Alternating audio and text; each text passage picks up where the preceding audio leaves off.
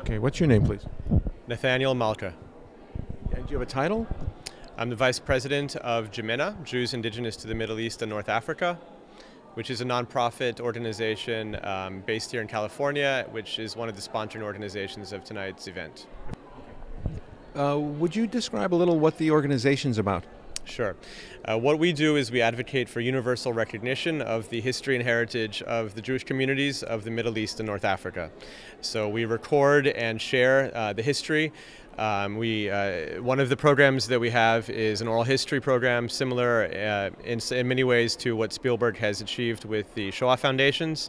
Uh, we archive um, oral history video testimonies of eyewitness survivors from everywhere from Casablanca to Cairo to Baghdad um, and uh, archive these uh, with um, Ben Gurion University um, and in the Israeli archives. Were Jewish people kicked out of these countries quickly and have did they have their uh, businesses and possessions confiscated? Absolutely, yes. Uh, the, statist the, statistic that you usually uh, hear is that 90% of those who left all of the Jewish communities from the Middle East and North Africa did not have a choice. 90% did not have a choice? Correct, 90%. Uh, did they have to leave their bank accounts?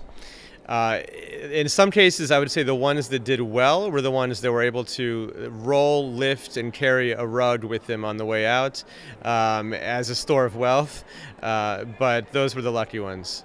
And again, that's 90% out of about 850,000 from the um, Arab countries in the Middle East. And when you include Iran, the number goes up to about a million.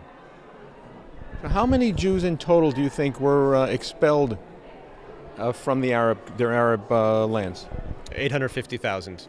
And uh, are you looking for uh, a, a, reciprocation from the uh, Palestinians um, to exchange population so that they are no longer um, the problem for Israel? Uh, that Israel should have them in Judea and Samaria? Do you guys have a position on that?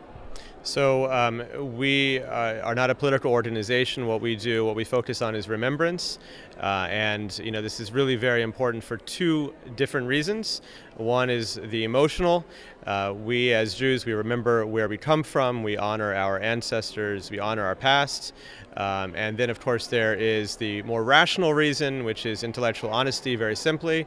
Um, how can you uh, really even contemplate the history of a whole region um, while omitting such um, a large, important group of people uh, that were part of the history of that region?